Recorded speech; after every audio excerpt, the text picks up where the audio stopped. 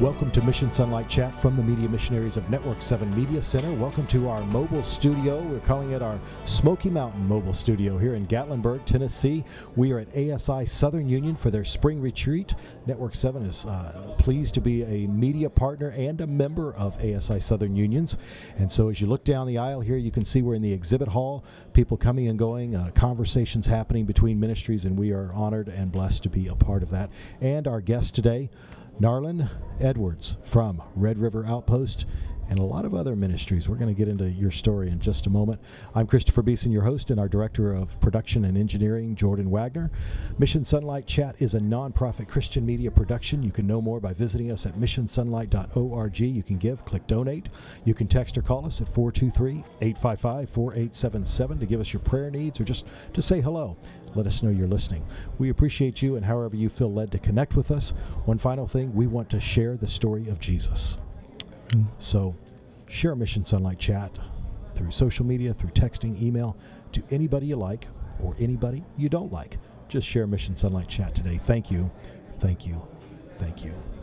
Again, our guest, Narlon Edwards from Red River Outpost. Narlon, thanks so much for being a part of our program. Glad to be here. Would you open us with a word of prayer? Absolutely. Yeah, let's pray.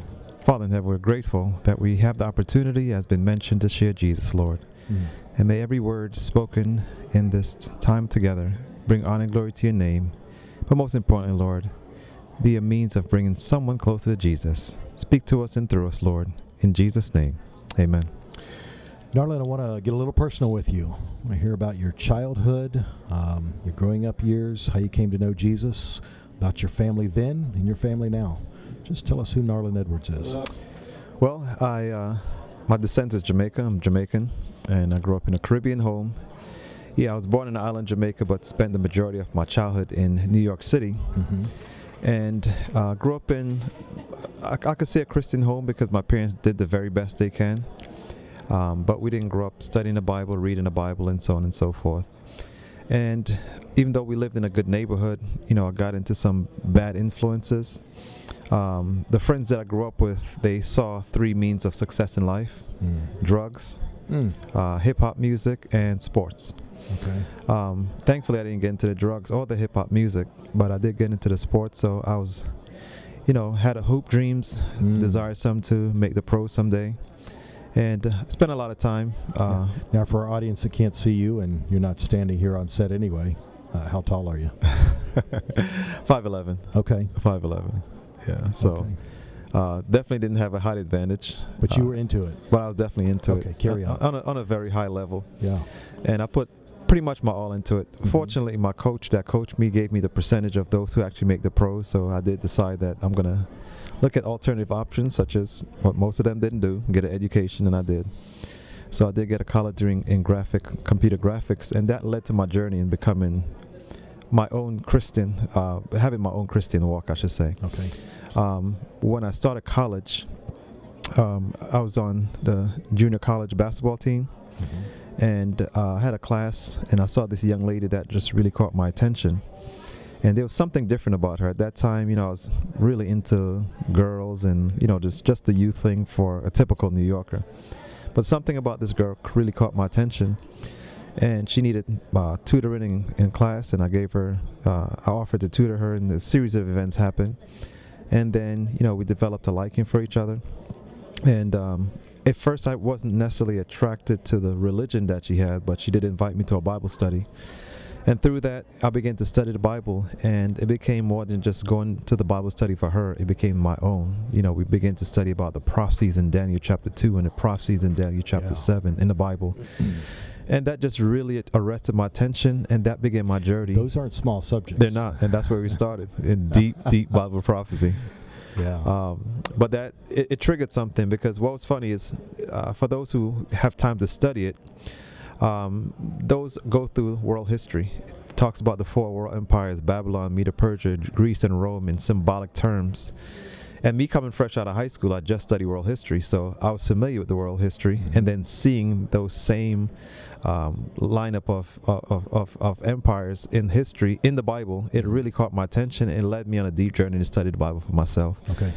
And I just took um, from there. I just took the Bible and began to study deeply, to the point where I got more into the Bible than she did. and that led me eventually to become a youth leader um, at the church there in New York. Um, then I became, you know, uh, a Bible worker uh, for the church, and then things didn't work out with that first young lady. And in the realm of Bible worker, that's how I actually met my current wife. So Okay. that's it's been a blessed journey. Uh, that were how God took me through that experience. Now, I want to be careful with this question, but that young lady obviously impacted your life Absolutely. for eternity. Have you ever connected with her again? Does she know the impact that she had for the kingdom? Yeah, absolutely. We're, we're still actually friends. Um, Good. she still watches some uh, YouTube videos now. I have uh, quite a few messages on YouTube, and you know, just me being involved in ministry shows, she does keep up with it, and we're friends. She'll call me every now and then for advice and so on and so forth. So, um, so we, we did maintain a level of friendship over the years. Praise the Lord. Absolutely. Wow, and and what a reward for her to get to see. You know, oftentimes we meet people and make an impact on them, and we don't know. So what a reward for her to be able Absolutely. to see the impact she made. And Narlon, um, I, I know you're a humble man, but you've had an impact for the kingdom in a in a big way. Um, your shirt says Red River Outpost. In our second segment, we're going to talk a bit more about Red River. But between you um, having this encounter, deeper encounter with Christ, with this young lady, meeting your current wife, Uh huh. um, tell us about your family now and the business and ministry that you've engaged in through the years. Tell us about a little bit about who you are more in current events. Yes, good question. So now my current wife, you know, we've been married 16 years. Um, we have And her name her name is Samantha, Samantha Edwards. and your kids. Three lovely children. Uh, well, two with one on the way. Yes. um, and she's just an awesome lady. Uh, I couldn't think of anyone better for me personally. Um, so we run in two pretty intense organizations. She has a company called New Breed Meats, and we're plant-based advocates because we've seen the impact that it has had on our own personal lives. hmm Um, and her mom was diagnosed with cancer many years ago, and she's a cancer survivor of almost 15 years now.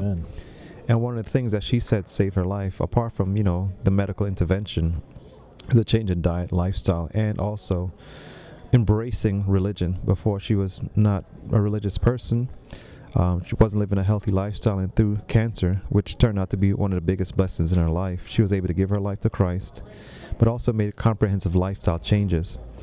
And my wife and I, just because of the impact that it has had on our personal lives and our family life, she said she wanted to give something to uh, people in the community, people all around, uh, to see that there are healthier options as far as dietary practices that still taste tastes excellent, and at the same time you don't have the high fat, high cholesterol, Mhm.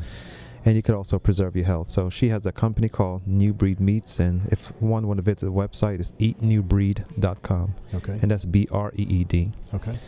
So, in addition to that, uh, in Stanton, Kentucky, we have a, a self supporting or nonprofit organization called Red River Outpost. hmm And we focus, and the, the two, the business and the ministry goes hand in hand. Because we also focus on holistic healing, which means mental, physical, and spiritual.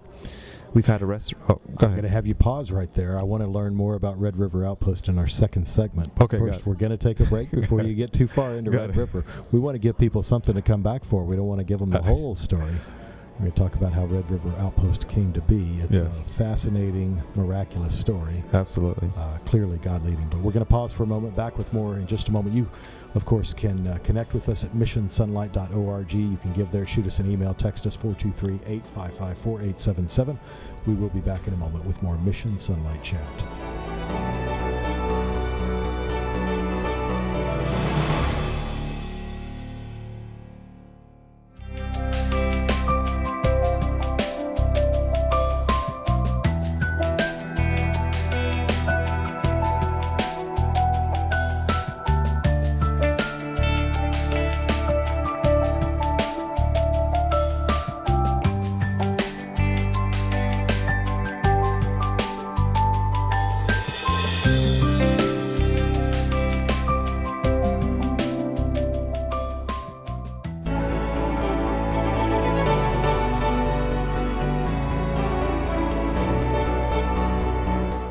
Welcome back to Mission Sonlight Chat. Our guest today, Narlon Edwards from Red River Outpost. Narlon, thank you again for being a part of our program today, and thank you for sharing your personal testimony. Wow. God is on the move in a lot of lives and in yours as well. Praise Amen. the Lord. Amen. Yeah. So you were about to tell us about Red River Outpost. What is it? Yeah, so it's a multifaceted nonprofit religious organization, and it focuses on holistic healing, which Mhm. means mental, physical, and spiritual. Mm-hmm. And we have a health emphasis, a health focus, because we know that there's one thing that everyone in the world wants and to a certain extent needs is Yes. healthy lifestyle. And we've noticed that most people focus on the physical, not realizing that the mental and spiritual also have a major impact, which is a biblical principle. Pr- principle you find that in 1 Thessalonians 5, verse 23. Mhm. So we have a wellness program that we take people in. You mentioned 1 Thessalonians 5, Five, verse, verse 23. 23. I don't know if you want to whip out your phone and share that, or if you've got it memorized, you can I, uh, I think I have it memorized. give us the taste of it. It says, The God of peace sanctify you wholly, and we pray that your whole body, soul, and spirit may prosper. or Something like that. It's paraphrasing, God but it talks about healthy body. Exactly. In every aspect In of three dimension. That's Yeah, right. Yeah, go ahead. So um, we have a few different entities of our ministry. The hub right now, I'd say, will be our wellness retreat. So we have a program that we take people in anywhere from seven to 21 days. Mm-hmm. And if you have mental struggles, physical struggles, emotional struggles, we take them in for seven to 21 days. We put them on a cleanse. We cleanse and detox their bodies. Mm-hmm. And then we build it back up with um, uh, juices and uh, concentrated um, minerals uh, through, um, you know, through dietary practices. Mm-hmm. Um, then we also do massages. We do hydrotherapy, um, cold and hot treatments.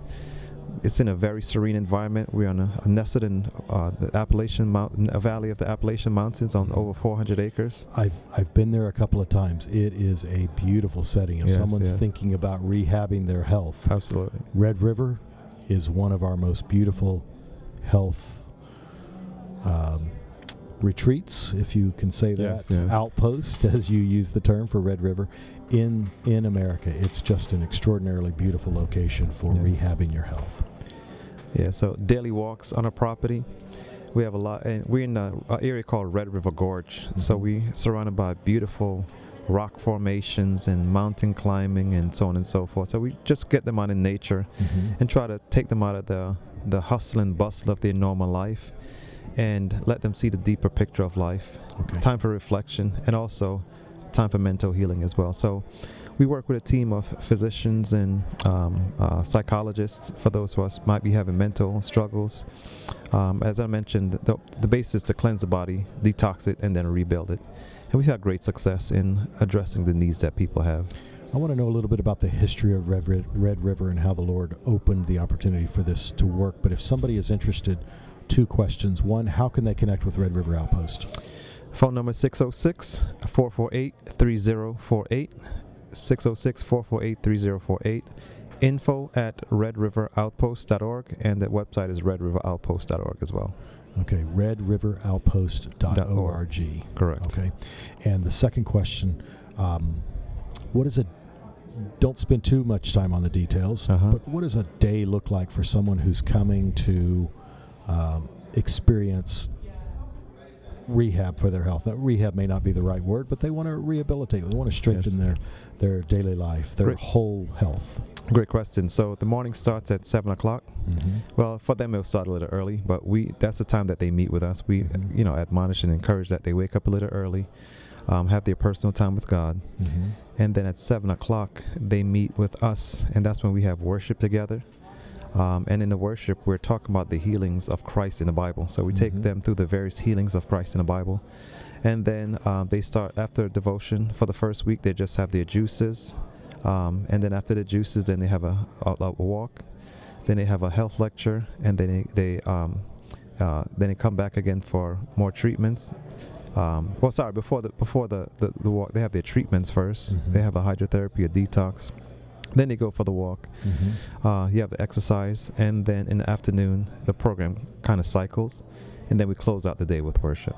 So similar type program in the afternoon. Exactly. Close out with worship. So they're probably getting to bed early enough that an early morning is not a hard thing. Yes, the, we're finished worship at seven, and then uh, they're normally in bed by eight o'clock. Wow.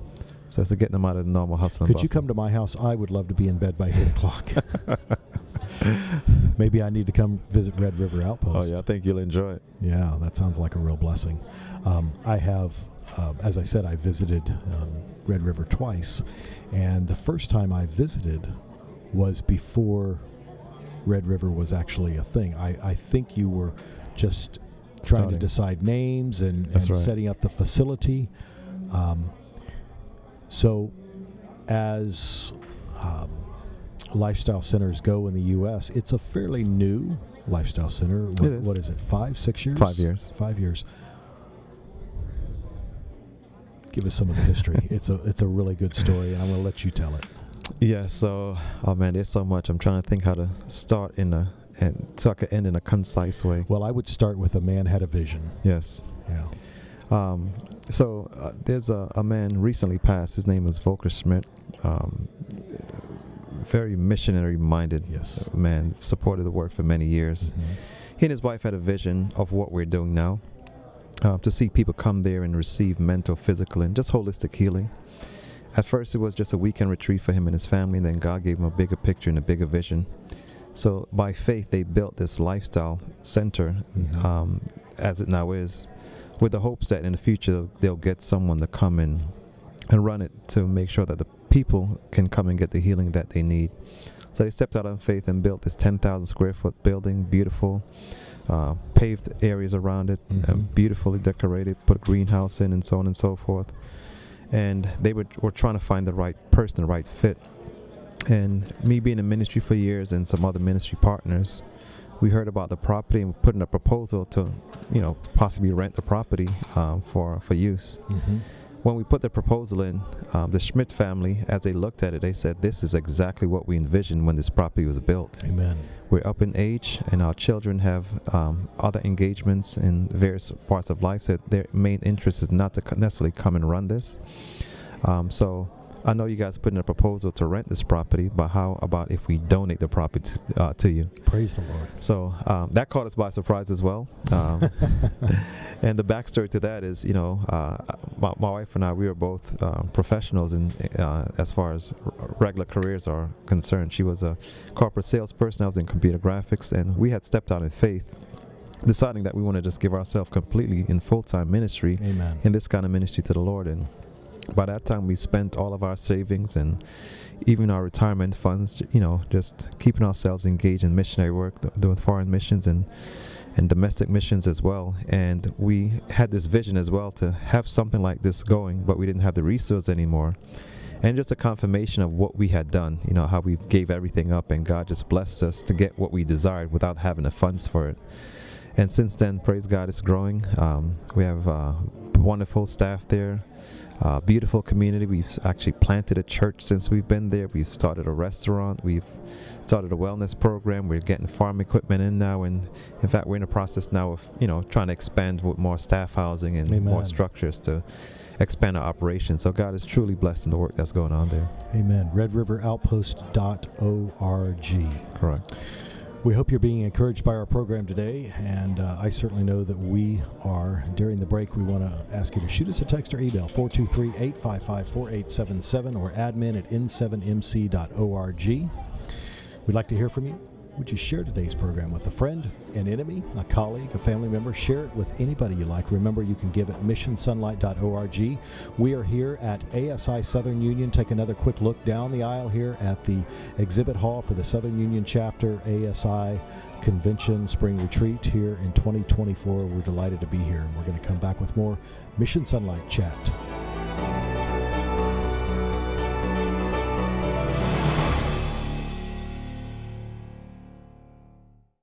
Our salvation is a day to day matter, isn't it? The real principle of the Sabbath is reconnecting ourselves with the Creator. We must learn to abide in Jesus now. We move ahead with our mission objectives, recognizing that we are serving together the Most High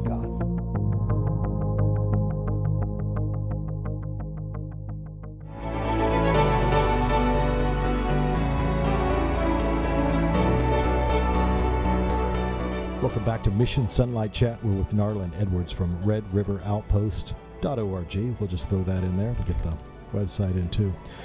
Narlon, I'm going to put you on the spot. I didn't even ask you in the break, but we're going to see if you have a testimony, something to share from someone who has been to Red River Outpost and some way that it's been a blessing. If you could just give us a couple of minutes of a, a story of something powerful there. We have so much. The one that stands out most is, and you can find that on our YouTube channel. You could just search Red River Outpost and search Kevin Elkins, Dope to Hope. Oh, wow. Young man, um, strung out on drugs his entire life. Mhm. Uh, got in touch with uh, some folks and was able to come to our church. And him and his mom were struggling with, especially his mom, with smoking. And he just wanted something different, something better. And by God's grace, we were able to arrange to give him Bible studies, got his mom detoxed, and now she's off cigarettes altogether.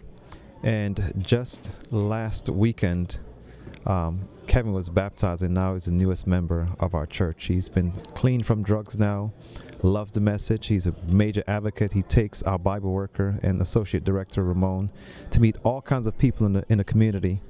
And as a result of his influence now, there's so many people also coming to the church Mm. wanting more uh, more about Christ, want to get off drugs as well. Wow. So that's just one of the latest stories of many. wow, that is powerful. Absolutely. So, if you want uh, better health, holistic health, spiritual, physical, intellectual, That's right. um, redriveroutpost.org. And your wife's uh, business is Eatnewbreed.com. eatnewbreed.com. And that is available in a number of large markets, right? Yeah, Meijer's is the main dis- uh, distributor right now Okay. that has a product, but we do direct to consumers. So at the website, you could order directly there. We're in other scattered um, places all throughout the U.S. So our website actually has a store locator. So, but Narlon, Myers is one of our largest audience groups outside of the U.S. is in uh, Central Europe. So, would you ship to Europe if somebody asked for it?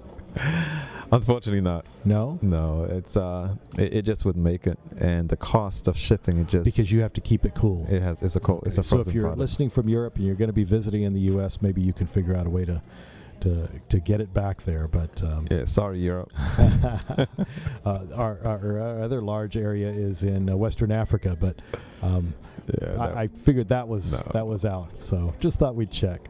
Hey, before we go, would you just share? Look at the camera here, or um, those that are listening, of course. Uh, just speak directly to them and just share a word of encouragement from your own heart, from your own life. you know, um, I, I, tell, I say this to people, and people might think I'm exaggerating. And I always say that if, someone was to offer me a billion dollars to do something different, I would reject it as a demotion. And the reason is the Bible says promotion comes from God. And you think that after leaving a beautiful home, well rounded careers, well supported careers, that we would have lost happiness and we could not be much happier than we are now. And reasons we know that we're doing exactly what God has called us to do. So maybe there's someone that God is speaking to you. Maybe God is calling you to a life that's more fulfilling. Yeah. Maybe He's calling you to a life of ministry, whether full time and part time, and you've been hearing His voice and just trying to figure it out.